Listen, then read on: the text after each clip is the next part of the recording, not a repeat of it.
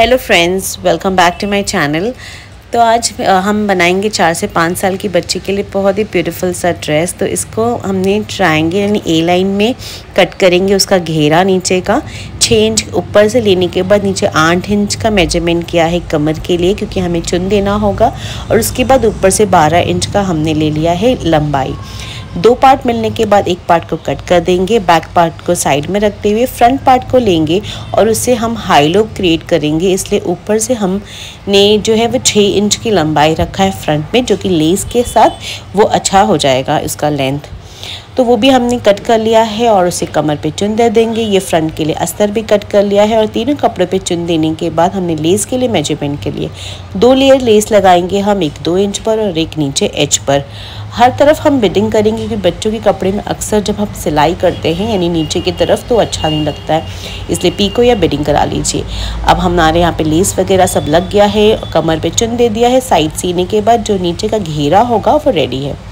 अब ऊपर की बॉडी कट करने के लिए कपड़े को डबल फोल्ड कर लीजिए, फिर एक और फोल्ड करने के बाद जो है वो फोर फोल्ड हो जाएगा। अब यहाँ पर हम आर्मोल्स और जो है वो नेक की मार्किंग ले लेंगे। अब अपने बच्चे के हिसाब के मेज़रमेंट से यहाँ पर मार्किंग लीजिएगा।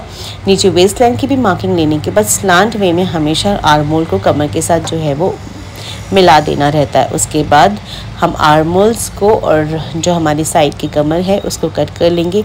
नेक के लिए ऊपर से ढाई इंच और नीचे से तीन इंच का एक बॉक्स बना लेंगे। और यहाँ पर मैं बना रही हूँ राउंड नेक, इसलिए वहाँ पर भी हम कर्व शेप दे देंगे। तो बहुत ईजीली हमारा ये मार्किंग भी यहाँ पर हो गई है। और इस हिस्से को भी हम कट कर लेंगे। तो बहुत इजी अगर आप हमारे मेथड से चलेंगे तो बहुत आसानी से ये रेडी हो जाएगा। अस्तर भी सेम मैंने इसी तरीके से कट करने के बाद अस्तर को चारों तरफ़ से अटैच कर लेंगे।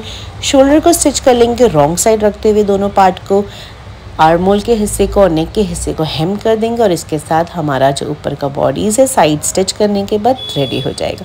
तो आपने देखा बहुत सिंपल घेरा, बहुत सिंपल बॉडी को हमने रेडी कर लिया और इसको बस सिंपली हमें घेरे की वेस्ट लाइन और कमर की वेस्ट लाइन को एक दूसरे के साथ अटैच कर लेंगे। ये प्रिटी सा ड्रेस रेडी हो जाएगा। इसे थोड़ा सा और किडिश और और ब्यूटीफुल लुक बनाने के लिए हमने ये प्यारा सा सीक्वेंस का पैच इस्तेमाल किया है। आई होप आज की वीडियो आपको यूज़फुल लगी हो, पसंद आई हो, और अगर पसंद आएगी तो चैनल को सब्सक्राइब करना ना भूलिएगा। लाइक शेयर ज़रूर।